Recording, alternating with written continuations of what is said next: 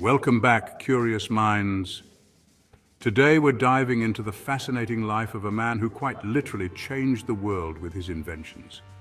Buckle up as we explore the incredible journey of Guglielmo Marconi, the father of radio.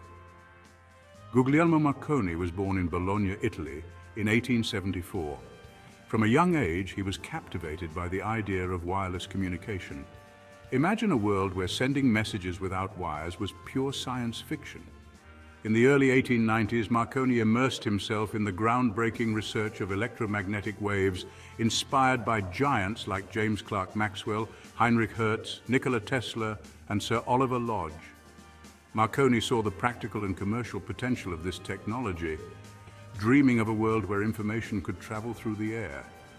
In 1894, under the mentorship of Professor Augustus Righi, Marconi began his experiments with wireless telegraphy using Righi oscillators. His early trials were modest, achieving a signal range of just 1.5 miles.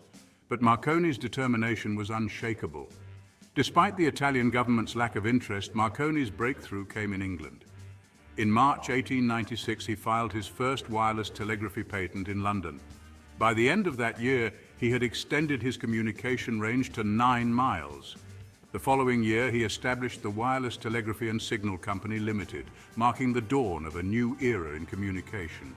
In December 1897, Marconi set up the first wireless station at the Royal Needles Hotel on the Isle of Wight. This was just the beginning. By 1899, he had transmitted a wireless signal across the English Channel, a stunning 31-mile leap. The British Royal and Merchant Navies quickly adopted this revolutionary technology. Then came a monumental achievement. On December 12, 1901, Marconi transmitted the first transatlantic wireless signal from Poldhu, Cornwall to St. John's, Newfoundland. This nearly 2,000-mile transmission was a game-changer, proving the limitless potential of wireless communication. By 1902, permanent wireless stations were established in Nova Scotia and Cape Cod. The maritime industry was revolutionized, with many ships outfitted with Marconi's wireless sets, operated by his trained personnel. This new business model turned a profit and demonstrated the indispensable nature of wireless telegraphy. In 1909, the importance of wireless communication was solidified when it saved over 4,000 lives during the SS Republic disaster. That same year, Marconi shared the Nobel Prize for Physics with Karl Ferdinand Braun, another pioneer in wireless technology. Wireless telegraphy even played a role in law enforcement.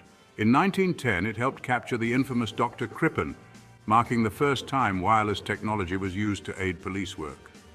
Perhaps the most dramatic demonstration of Marconi's technology was during the Titanic disaster in 1912.